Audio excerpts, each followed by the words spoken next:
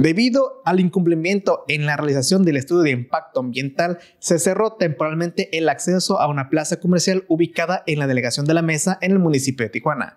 El director de protección al medio ambiente informó sobre todos los detalles. El día viernes eh, fue suspensión de actividades del estacionamiento de Plaza Carrusel debido a que contaban con un proceso administrativo que no habían cumplido desde diciembre del 2021 Aquí el proceso administrativo es que no cumplían con nuestro permiso de impacto ambiental, el cual no estaban regularizados.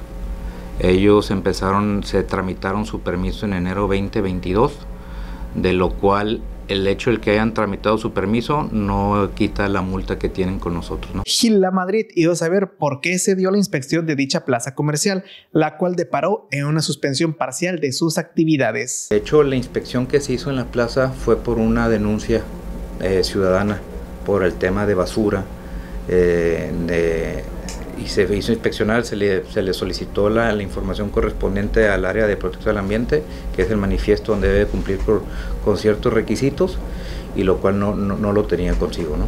El director de protección al ambiente iba a saber que este no es el primer comercio o local al cual se le suspende temporalmente por falta de esta clase de documentación. Ha inspeccionado varios lugares, estacionamientos. Este es el primero que, que en su momento se hizo la suspensión de actividades.